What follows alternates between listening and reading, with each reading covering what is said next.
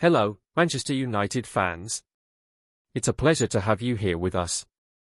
I've got some exciting news to share with you firsthand. If you want to stay updated on all the club's news, subscribe now to receive all the information firsthand. With that said, let's get to the news. Manchester United is currently in negotiations to sign French midfielder Nabil Fekir. As we know, transfer windows in the football world always generate high expectations, and United is keeping an eye on market opportunities. The latest news is the possible arrival of Fekir at the club. To give a bit of background on Fekir, who is currently 30 years old, he is playing for Betis, a club based in Seville, Spain. Fekir has a World Cup title with the French national team on his resume and is recognized for his midfield skills, vision of the game, and international experience.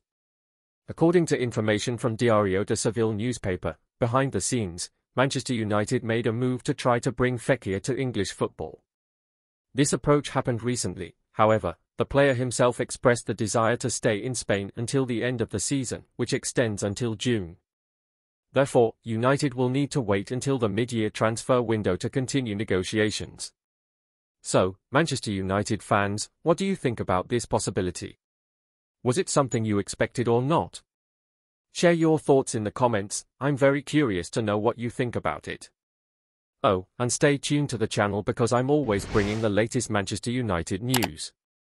Don't forget to subscribe so you don't miss any important updates from our club.